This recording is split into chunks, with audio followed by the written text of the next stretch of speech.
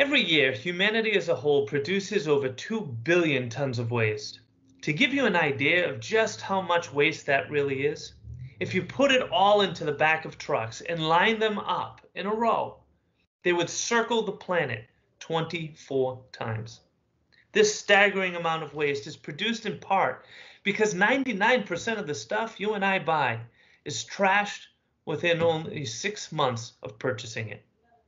Hello and welcome to another episode of Preview of Tomorrow. I am your host, Mike Lake. In today's preview, we will be taking a peek underneath the lids of our garbage bins as I speak with Andy Crofts about the inefficiencies of waste management systems today and the solution his company, Enevo, has developed to more effectively deal with the waste we produce today to ensure a cleaner planet tomorrow innovation, resiliency, discovery. Join Mike Lake, President and CEO of Leading Cities, as we explore the technologies shaping the possibilities of our future with a preview of tomorrow. Welcome, Andy, and thank you so much for uh, for joining us today. For our listeners, Andy Crofts is the Business Development Director at Enevo, an innovative waste management company that continues to reimagine the waste collection industry, saving clients money and saving the planet at the same time. Now, before we learn more about Enevo itself, Andy, I'd like to step back and ask from your perspective, what is a major challenge facing society over the next five, ten, or more years from now? Okay, uh, yeah, I mean that's a really, really good question, and, and, and many thanks for having me on board. Um, I, I, think one of the key um, key things that we we all need to be conscious of at the moment is is around recycling and, and upcycling products, especially with the with the issue around plastic usage. Um, we're we've already seen that um, uh, uh, our, our, friends across the sea, China, have have mm. kind of get now they've they've kind of pulled the trapdoor upon the amount of recycling that they're taking in uh, and, and and waste that they're taking in. So that's that's meant that um, leaders in in cities are having to look at different ways to do things, and, and certainly within that waste industry as well, um, they're having to look at how they can reuse some of these products and get them recycled and get them out of the waste stream. And there's a huge, huge challenge, and I think this is where the biggest challenge comes in is that that is for um, waste producers, which is all of us.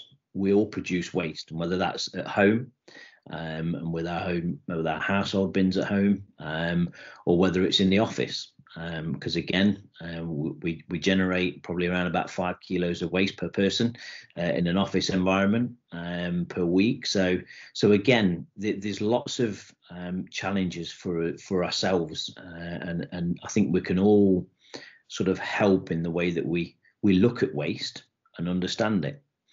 And I think that's where having that deeper look and a deeper focus into an industry um, by the use of data, and that doesn't matter whether it's it's data coming from a, a, production plant that is that's recycling plastic, or whether that's from scales that are on the back of trucks and, and weighing bins as they're going in, and knowing whereabouts in the community more waste is being generated. The more data that we can have, the better informed that we'll be, and the better informed the public can be as well. Um, citizens can't improve if they don't know a base mark of where they are in terms of how much is being recycled in their in their areas. Um, so so this is something that's really really key, um, and, and we're seeing more and more um, cities and, and, residential areas are starting to look at that now and starting to build in initiatives for residents to to have those kind of uh, sort of uh, payback for for doing more recycling. Um, so we know that uh, there was an area in London that was doing a, a, project where they got all their residents to recycle more, and they gave them an extra piece of play equipment on a local park that they chose and things like that. So there's lots of ways to incentivize um, uh, citizens to to do more. Um, but I, I, think the key one is if we look at what the impact on the environment is, um, we should we should just do more anyway. And of course, you're joining us from the UK right now, and and I once saw this BBC report that kind of put some of what you're talking about into very interesting terms. That the world produces over two billion tons of of solid waste every year, just municipal solid waste, which putting that into another perspective can fill over 800,000 Olympic-sized swimming pools. I mean, it's a tremendous amount of waste you're talking about. Of course, here from the U.S uh, we are the number one waste producers in the world. Um, when you think about when the average person thinks about the waste industry, let's be honest, we take it for granted, right? We produce waste, we put it in our bins, we put the bins out by the the curb or in a, uh, a larger bin or whatever, and it gets taken away, and that's kind of it. We've we've washed our hands of it, uh, and it's it's gone you just talked about you know data collection and, and analysis et cetera et cetera. This is a much higher tech kind of version of waste collection than what i think most of us realize is happening or at least can happen. Before we talk about the the innovation of today when was the last real innovation within waste collection prior to current day uh, collection methods I would say that the, the, probably the most significant piece of, of, of, technology to hit now. Now the waste industry has been very averse to technology coming in. Um, maybe a few pieces of software that are in for recording um, some items, but I would say probably the most innovative um, sort of solution that, that's that's, that's um, come to the industry uh, over the last sort of 10, 12 years it's probably been the ability to weigh individual bins onto the back of a truck. Um, and and that's probably been been a key one. That's that's that's allowed because I think that the the key um, is to be able to understand where waste is coming from. I think that that's a key one. So uh, a, a, a, a truck would go around and collect a, number of uh, containers and, and dumpsters and, and, and cans and things, um, and get back in and go and go to the, the dump site and, and dump eight tons of material. Nobody had any idea where that material came from.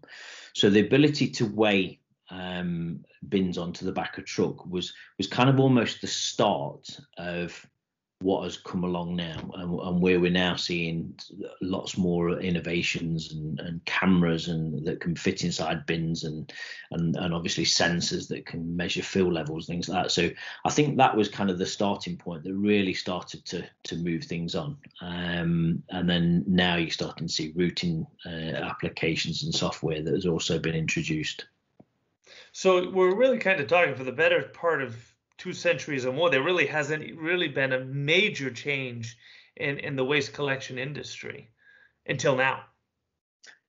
Well, yeah, because I mean, if you think again, not sure what the the US been like, but if you think back, um, probably only 12, 15 years ago, you would have had to been putting your um, waste into bin liners and leaving it at the at the bottom of your your driveway for it to be collected.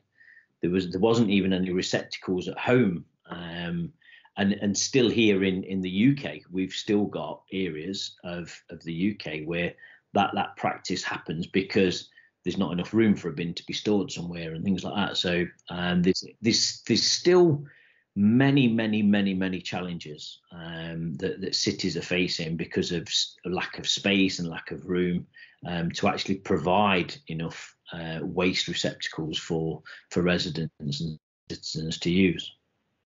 So let's let's now talk a, a, a, bit about Enevo because Enevo is certainly changing the dynamics of waste collection. Tell us um, what what does Enevo do for the for the average person? Can you explain how how the solution works and, and why it's so important? So a, a real a really good way of, of of kind of saying what we do um, to to the to somebody that doesn't understand the industry really well is we lift the lid on a bin and we take a look inside. And we do that millions of times a day, but without actually physically having to lift the lid. So we have our, we've got sensor technology that we've designed, um, and not just for collection. Um, we also do the reverse, so for, for deliveries as well. So um, we use it for delivering grit to grit bins, for example, for for for salting roads and things like that. So so we can use it for it's measuring a fill level and whether that's rising or falling.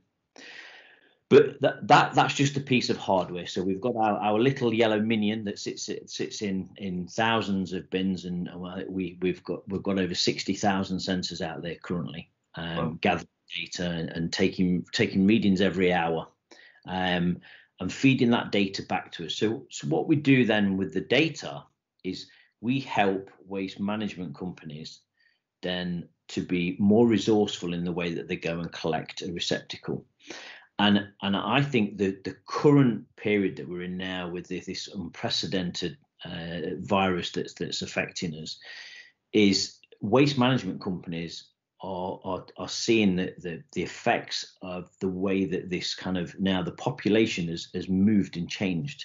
So there's been a lot of offices that have been closed and people are working from home. So suddenly the commercial real estate sector has been affected and those waste management companies that have been collecting from those have been hugely affected because mm. there's very few people in those offices yeah. and everyone's now taking that shift to working from home and exercising differently. So we've um, in the uk we've done a, a with uh, newcastle city council we've done a, a, full city rollout across every one of their street litter bins. So every street litter bin in newcastle has got one of our minions in there. And during the the, the pandemic and, and a, and, a, period of lockdown that we went through last March when we had the first initial stage, the change in behaviour in their street litter bins again was was unprecedented.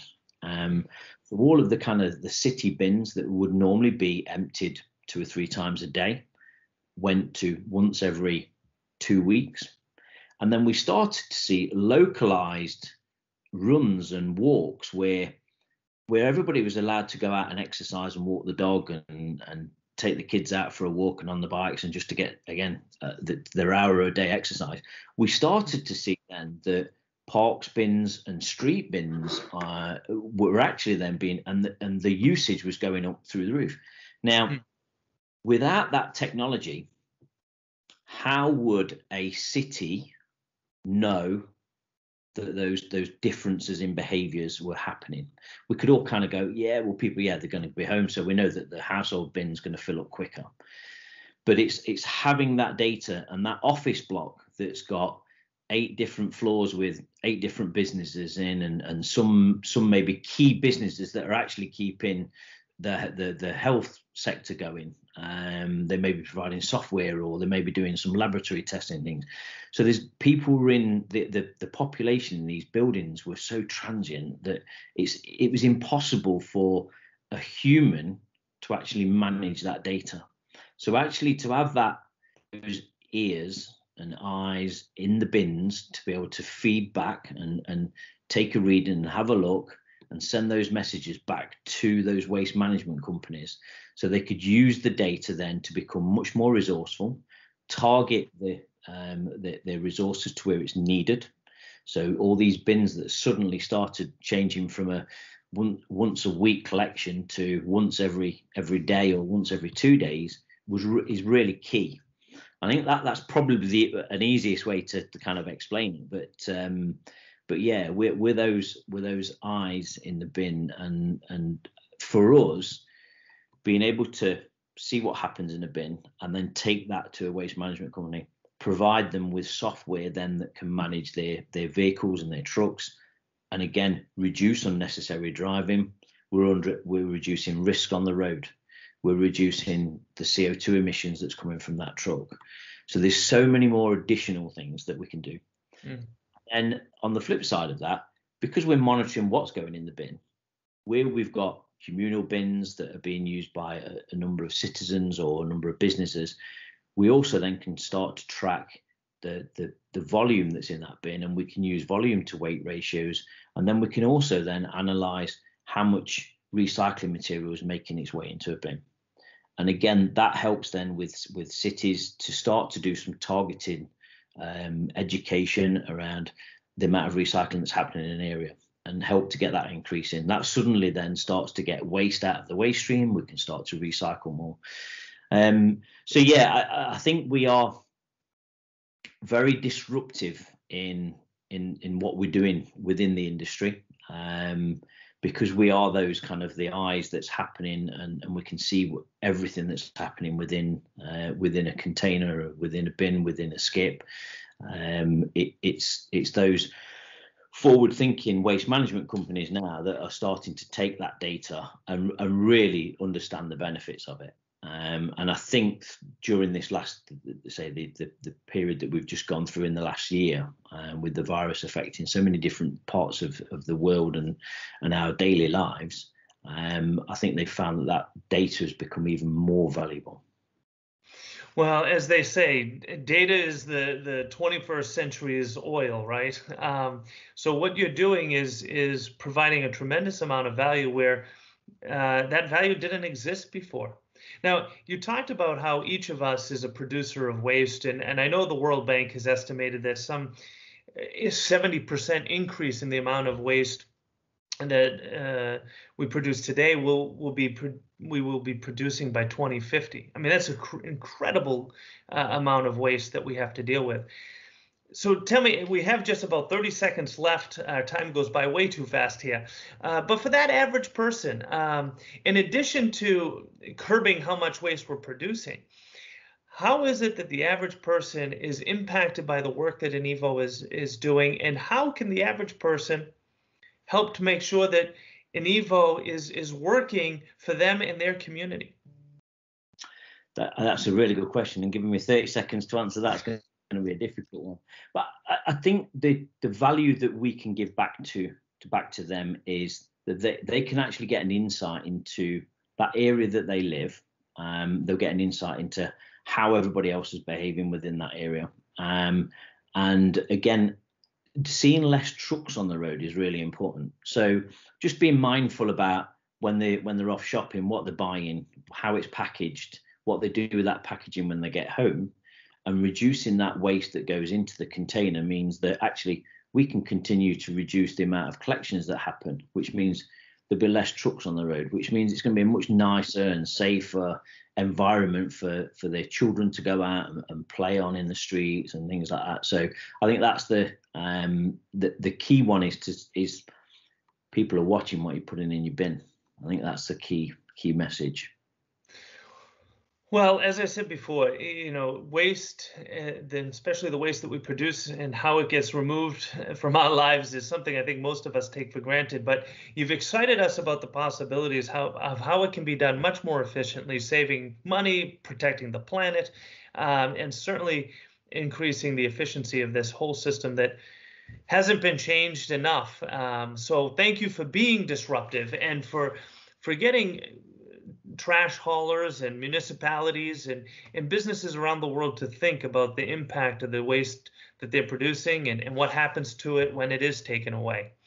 Um, one last question for you. For anybody who's interested in learning more about Enevo, what's the best way to contact uh, Enevo? So the, the best way is to get onto our website, which is www.enevo.com. Um, again, we'll have all our information on there. We've, we're also on Twitter, so you, I mean you can find us on there. We've also got Facebook pages as well. So um, Twitter's a good one to find out what we're doing because that's across the world. Um, but but yeah, get on our website um, and you can see how we're affecting uh, business and, and waste and how it's being collected. Wonderful. Andy Crofts, thank you so much for joining us on Preview of Tomorrow. We look forward to hearing more about Enevo and all your success and the impact you're having around the world in the future. Thank you very much. Thank you. No, it's been an absolute pleasure. Thank you for tuning in to this episode of Preview of Tomorrow. In addition to thanking our guest, I want to thank Peter Roy and Demetria Bridges for making this podcast possible. If you enjoyed this episode, please subscribe and encourage others to also join us each week in previewing the possibilities of tomorrow. Preview of Tomorrow is brought to you by Leading Cities, a global nonprofit driving resilience and sustainability for all by unleashing the potential of the world's cities.